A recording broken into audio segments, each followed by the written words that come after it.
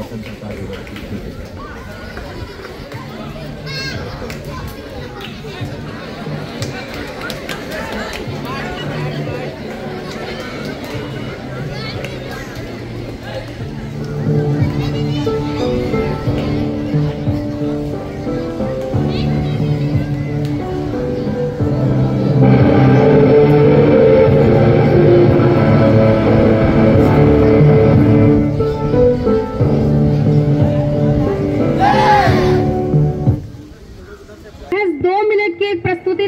गई जिसमें कक्षा दस के छात्र रहे।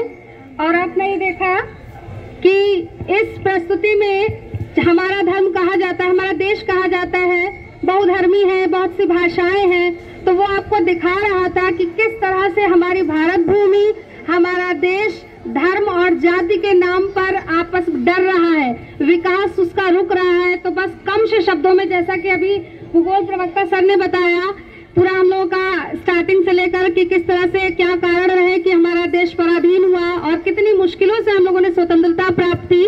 उसी के क्रम में बस इतना कहूँगी, इस स्वतंत्रता प्राप्त करना एक बहुत बड़ी चीज़ थी, लेकिन उसको बनाए रखना उससे भी बड़ी चीज़ है, क्योंकि अगर हम अपने धर्म, जाति, संप्रदाय के नाम पर लड़ते रहेंगे तो कभी भी अपना विकास नहीं कर सकते हैं, और इस चीज़ को संकीर्ण मानसिकता के साथ ना हम पढ़ सकते और ना ही हम बढ़ सकते हैं। बस यही कहूँगी कि आपस में कभी लड़िएगा नहीं किसी भी तरह से। किसी आ, किसी धर्म को लेकर के विशेष आगे मत बढ़िएगा क्योंकि हम सब भारतीय हैं और कहीं भी हम जाते हैं अपना परिचय भारतीय होने का ही देते हैं ना कि हम ये बताते हैं कि हम हिंदू हैं इस्लाम है या कोई दूसरा धर्म। हम सब भारतीय तो एक साथ बोलिए भारत माता की